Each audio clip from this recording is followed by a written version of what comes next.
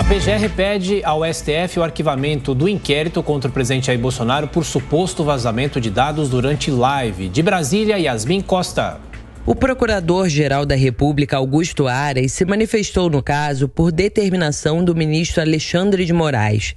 Aras afirma que as informações divulgadas pelo presidente da República não estavam protegidas por sigilo e que, portanto, a publicidade desses dados não constitui crime.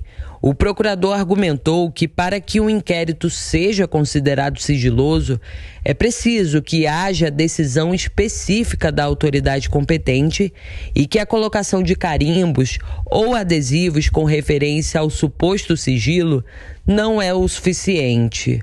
Aras também argumentou que o delegado Victor Feitosa, que assumiu inicialmente essa investigação, disse durante o depoimento que não impôs o sigilo ao inquérito. Por isso, o PGR afirma que fica afastada a possibilidade de quebra de sigilo funcional por parte do presidente da República. Em outro ponto da manifestação, o PGR rechaçou os pedidos do senador Randolph Rodrigues e do advogado Ricardo Para que a Procuradoria tome as providências cabíveis contra o presidente da República por não ter comparecido ao depoimento na Polícia Federal. Aras afirmou que a conduta de Jair Bolsonaro é a manifestação do direito ao silêncio.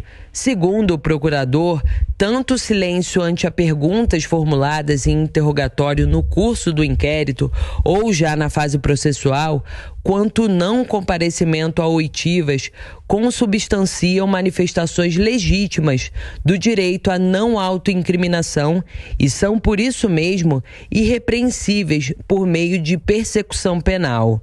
Em agosto do ano passado, o presidente divulgou nas redes sociais a íntegra de um inquérito da Polícia Federal que apura o suposto ataque ao sistema interno do Tribunal Superior Eleitoral em 2018.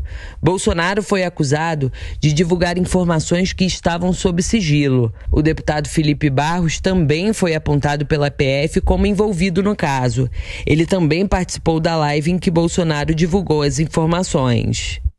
Juridicamente, portanto, é, cabe ao ministro Alexandre de Moraes, relator do inquérito, apenas acolher a manifestação do Procurador-Geral da República, o doutor Augusto Aras, que é o titular da ação penal, eh, e, portanto, compete eh, ao ministro Alexandre de Moraes o arquivamento do inquérito.